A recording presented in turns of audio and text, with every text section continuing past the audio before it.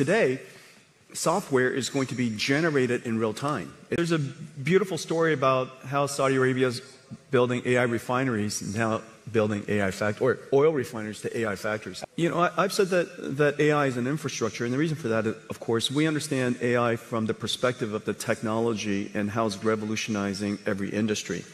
Digital intelligence, of course, has applications into every every field.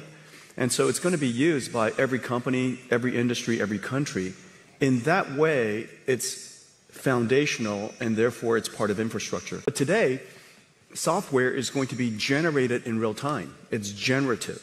Based on the context, based on the circumstance, based on who you are, based on the problem you asked, based on your prompt, it will generate unique content for you. Every single time for everybody, it's unique. Today, it's generative.